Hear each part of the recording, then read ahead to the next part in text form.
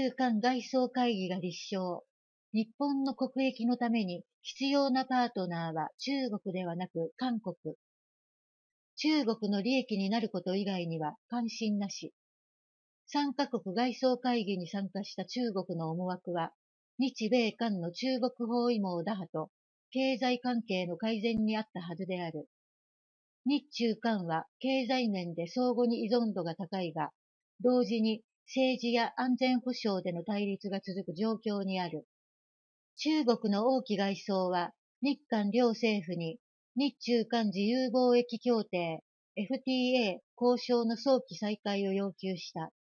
ビッグデータや人工知能 AI といった分野での科学技術協力にも意欲を示した。米国が主導し、先端半導体などの対中輸出、投資規制が続いており、これが中国の技術開発や貿易に悪影響を与えている。王毅外相の要求には、こうした経済的包囲網や低迷する国内経済を打開したい気持ちが現れている。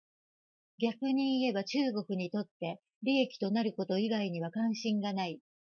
日韓はユン・ソンニョル政権発足以降関係が正常化しているが、中国の習近平政権は覇権主義的かつ従来の秩序を破壊する外交政策を今も続けており、中国による台湾侵攻の可能性も高まっている。そのため、日韓との対立は深まっている。韓国に圧力をかけ、取り込みを画策する中国。中国が3カ国外相会議に出席した最大の狙いは、米国との連携を強化する日韓への牽制である。日韓と積極的に協力しようとする姿勢は見えず、日韓とは距離を置いている。中国はユン・ソンニョル政権発足直後から進む日米韓協力強化を懸念している。中でもユン・ソンニョル大統領による台湾問題に関するたびたびの言及など、韓国の対中姿勢に不満を抱いており、怒りの矛先を韓国に向けている。11月中旬に米サンフランシスコで開かれたアジア太陽州経済協力会議 APEC 首脳会議の際、習近平主席は日本、米国とは首脳会談を行ったが、韓国との首脳会談には応じなかった。韓国に圧力をかけ続け、日米との分断を図る狙いがあるのだろう。韓国外交当局はこの時点から今回の外相会議の結果に懸念を抱いたとも言われる。中国がほのめかす日中間首脳会談実現のための条件。韓国の連合ニュースは、中国が3カ国首脳会談開催に向け、条件を持ち出したと報じている。3カ国外相会議の翌日、中国外務省の王文賓報道官は定例会見の席上、3カ国は首脳会談で前向きな成果を得られるよう、良好な雰囲気を作るべきだと述べたが、どうやらこれが中国政府の求める首脳会談の条件のようだ。さらに連合ニュースは、良好な雰囲気について、台湾や南シナ海といった中国が革新的利益とみなす事案で、韓日との強い圧力がない状態が含まれるとの見方があると報じている。日本や韓国に台湾問題や南シナ海の問題で中国の自分勝手な振る舞いを見過ごせというのはいくらなんでも無理な相談である。そうした中、中央日報は香港の有力メディア、政党日報に掲載された記事を引用。習近平が来年訪韓と伝えた。青韓日報によれば、過去数回の日中韓首脳会談に中国側は主席が出席していたが、今回は習近平主席が訪韓して出席する可能性があるというのである。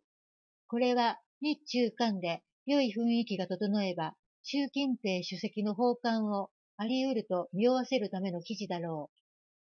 香港紙の記事は何としてでも韓国を抱き込もうとする中国政府が挙げた観測気球と見るべきだろう。中国と日韓との隔たりが明白に、11月26日、釜山で2019年8月以来4年ぶりとなる日中韓外相会議が行われたが、具体的な成果を上げることができず終了した。今回の3カ国外相会議は、一方的な主張を続ける中国と日韓の隔たりが露呈した会談だった。外相会議の最大の期待は、19年末を最後に途絶えている首脳級の日中間サミットの年内開催合意であった。しかし会談では、なるべく早期で適切な時期の開催を確認するにとどまった。韓国のチョ・テヨン国家安保室長はメディアに対し、年内に3カ国首脳会談を開催するのは容易ではなさそうだと述べた。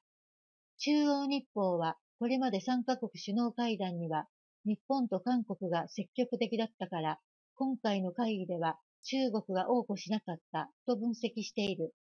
また、同外相会議では、3カ国が人的交流や経済協力、貿易、平和、安全保障など6分野で協力の重要性を確認したが、具体的な一致点は青少年交流にとどまったようだ。平和、安全保障の分野でも日中間が足並みを揃えるのは難しい現状だ。北朝鮮の偵察衛星打ち上げ、ロシアへの軍事協力に触れられるのを嫌って記者会見を避けたか。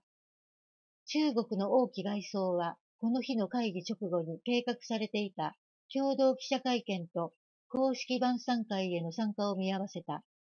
表向きには王毅外相の多忙なスケジュールを理由に挙げているが、外相会議では中国にとって好ましい成果はなく、共同記者会見開催そのものが負担になると考えた可能性がある。記者会見では、北朝鮮とロシアの軍事協力強化と、朝鮮の偵察衛星打ち上げに対する中国の立場が問われることは必要であった。中国は北朝鮮の核ミサイル開発への関与について消極的である。こうした対応ではメディアの批判は避けられず、逆に北朝鮮問題に踏み込めば北朝鮮の反発を受けかねない。どちらにせよ中国にとってメリットはない。日韓にとって対中関係の課題は協力より危機管理。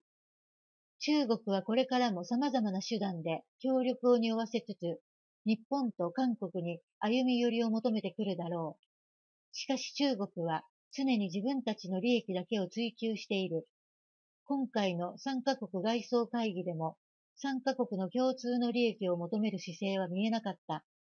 安全保障の革新分野とする台湾や、それに連なる南シナ海では、これからも自分たちの勝手な主張を押し通す姿勢を崩さないだろう。要するに日韓にとっては、自国の国益のために中国との協力を追求する余地はほとんどない。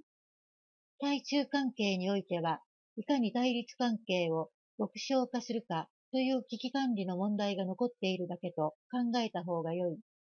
だが、東アジアでは中国自身がリスク要因となるほか、北朝鮮の核ミサイル開発という大きな危険性もある。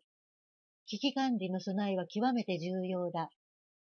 日本はこれまで専守防衛に徹し、軍事力の増強を控えてきた経緯もあり、独自の軍事力で国を守ることは不可能である。唯一の同盟国の米国も、ロシアのウクライナ侵攻、イスラエルとハマスの戦争があり、東アジア地域の防衛に全力を入れることはできない。こうした現状を踏まえれば、日本が自国を守っていくためには、米国以外のパートナーが必要だということがわかるだろう。そして、東アジアで一定の軍事力を備え、パートナーとなり得る国は、韓国とオーストラリア以外にない。特にユン・ソンニョル政権が日韓関係の改善に取り組んできた韓国とは、これまで以上の深い絆で結ばれたパートナーとなることが期待される。韓国でも日本との関係強化が不可欠との見方が支配的に、同じことは北朝鮮と対峙する韓国の方がより切実に感じているのかもしれない。王毅外相は会談で北朝鮮の核ミサイル開発などの朝鮮半島情勢に関し、緊張が続くのは、どの当事者の利益にもならないと指摘する一方、状況を沈静化させ、対話再開に必要な条件を整えるのが急務だと述べたが、具体的な対応ぶりについてはコメントを控えるという態度だった。北朝鮮の問題について韓国に協力する意思は感じられない。中国の習近平政権は、覇権主義的かつ従来の秩序を破壊する外交政策を今も続けており、中国による台湾侵攻の可能性も高まっている。その場合、在韓米軍が駐留する韓国は傍観者となることはできず、戦争に巻き込まれていくことになる。米韓同盟も中国を念頭にしたものに急速に変質している。こうした対中関係は、韓国の人々にとって重い懸念材料になっている。そうした中で韓国の有力紙、朝鮮日報は、韓国政府は米韓同盟と日米韓協力をさらに強固なものにし、そこから友好的な韓中関係構築に向けて全力を傾けなければならないと論じた。中央日報が開催した有識者による討論会、中央フォーラムでも、出席した国際政治、安全保障の権威たちから同様の意見が述べられたという。この状況を日本は生かさなければならない。韓国が日本をパートナーとして切実に必要としている今、日本にとって韓国が過去のしがらみから離れ、普通の隣国として実利を追求しながら、パートナーとして日韓関係をより安定なものに格上げしていく後期である。日韓は安全保障面から切っても切り離せないパートナーであるが、日本が過去の繁栄にとらわれることなく、冷静に現状を見つめるならば、両国は経済面でも不可欠のパートナーとなるだろう。